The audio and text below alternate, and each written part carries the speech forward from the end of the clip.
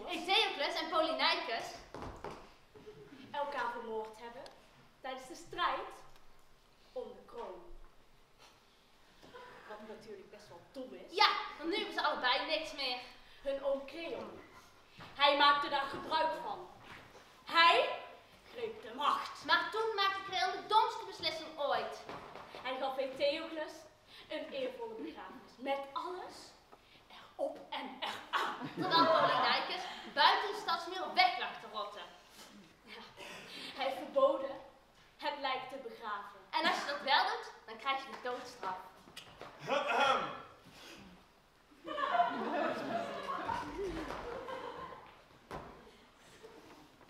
Zullen we deze mensen even de hele waarheid vertellen? Eh, dit is dus de man waar we het net over hadden. Creon! De koning.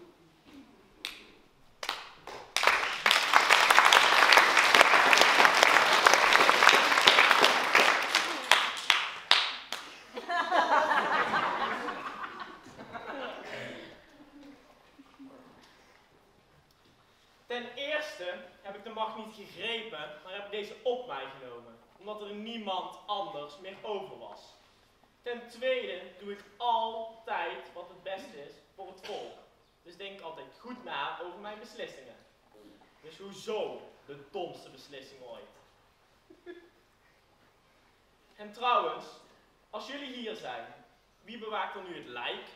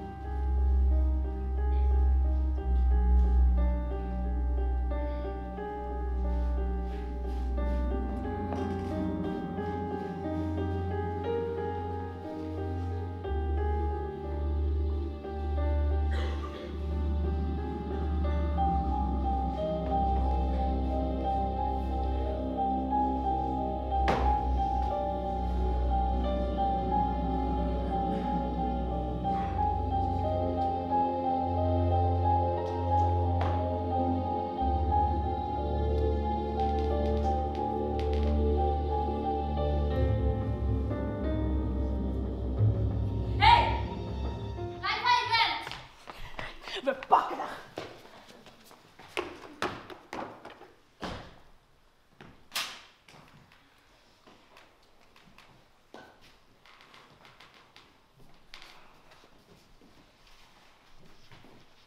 We hebben haar! Majesteit, laat mij dit maar even uitleggen. Vannacht, we hadden de wacht. Ja, en dan zat ze helemaal onder het zand te graven als een de beest. zwijnenpad. We hadden er al te pakken. Ze bleef toch doorgaan. Ja, en hè? niet opgeven. hè? Nee, ze bleef zich maar verzetten en maar schreeuwen dat ze dit af moest maken. Ha! Dacht je nou echt van ons te kunnen winnen? Wat was het? We hebben haar opgepakt. Ja, en direct hier naartoe gebracht. Jullie kunnen gaan. Antigone, zeg alsjeblieft dat dit niet waar is. Antigone, kijk me aan. Is het waar? Ja! Ik zal het morgen weer doen. Waarom heb je dit gedaan? Je wist dat het verboden was. Je wist dat ik die wet heb uitgevaardigd. Oh ja, want jouw wet is natuurlijk heilig. Jij wil dat iedereen voor je knielt en buigt en je aanbidt als een god. Jouw wet is wet. Mijn wil is inderdaad wet. Ik ben namelijk de koning van dit land. En daar heb ik niet voor gekozen. Het is nou eenmaal zo gelopen. Jij wil alleen maar macht en je bent bereid daar alles voor op te offeren. Zelfs de familieeer. Je misbruikt de dood van mijn broers. Jouw bloedeigen neven voor je eigen macht. Dat is niet waar! Ik heb gedaan wat het beste is voor het volk. Ik doe altijd wat het beste is voor het volk. Hoe kon ik de mensen nou uitleggen dat de twee troonopvolgers elkaar vermoord hadden? De mensen hadden het nodig dat het ene tot held maakte. Maar dat zal jij me niet begrijpen. Mijn broers die vochten al in de baarmoeder. De een is niet schuldiger dan de ander. Het is niet eerlijk. Niet eerlijk. Weet je wat niet eerlijk is? Als troonopvolger je eigen volk in de steek laten. Zoals jouw broers hebben gedaan. Thebe heeft iemand nodig die zich volledig geeft voor het volk. Ik vecht voor het volk. Voor mijn volk. En waarom zou ik naar jou luisteren? Jij bent een koning van niks. Mijn vader was een veel betere Oh. koning. Dat is het dus. Jij voelt je boven de wet verheven. Omdat je een koningskindje bent. Jij denkt dat je zwakke oom je wel zou sparen. Dat is niet waar. Jij doet het om mij te testen. Jij denkt dat ik jou niet ten dood zou laten brengen. Omdat je mijn nichtje bent. Jij denkt dat ik je wel zou sparen.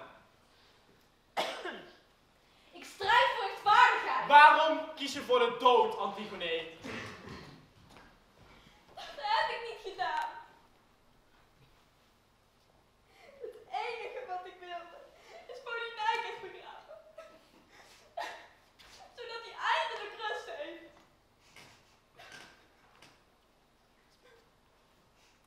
Antigone, ik kan je leven redden. Ga nu naar je kamer en zorg dat niemand je ziet. Ik en niemand zal ooit weten wat je gedaan hebt.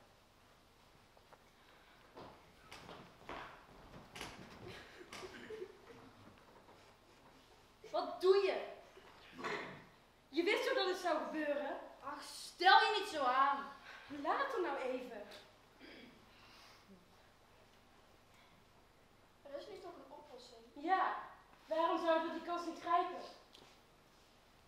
Ik bedoel, we zijn twintig en we hebben nog een heel leven voor ons. Ik durf tenminste de gevolgen van mijn daden te ondergaan. Er is nog zoveel voor te vechten. Als je dood bent, dan geef je op. En dat je leeft, dan kun je nog niet betekenen. Het is laf. Te kiezen voor de dood. Alleen maar omdat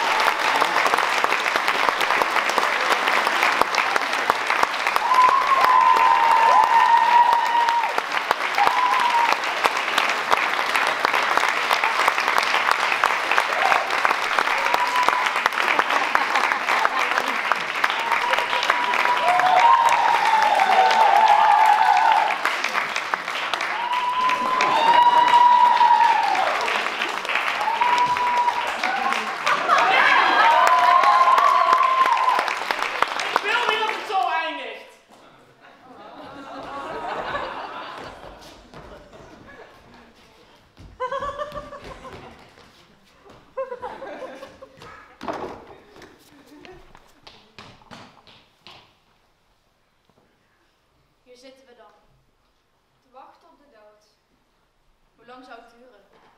Dat je omkomt van honger? Twee weken? Een maand? Misschien wel drie. Waarom zouden we daarop wachten? Wij hebben altijd onze eigen keuzes gemaakt. Waarom laten we dat nu afhangen van iemand anders? Maar wat wil je doen dan? We, we zitten opgesloten in een grot. Als ik dan toch dood moet? Dan doe ik dat liever zelf.